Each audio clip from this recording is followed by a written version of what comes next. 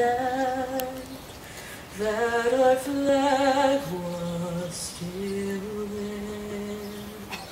Oh, say does that star-spangled banner yet wave? doesn't matter where you come from or what occupation you choose.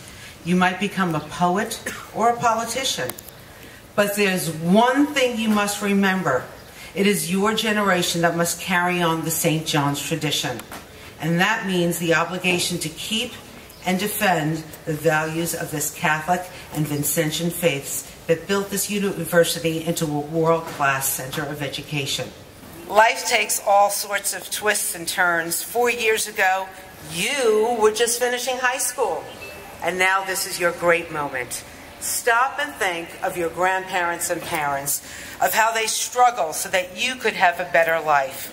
I'm confident that the diligence and commitment that I have observed in the class of 2016 will extend far beyond our campus, and I can say from the bottom of my heart it is an honor to have spent the last four years with you all.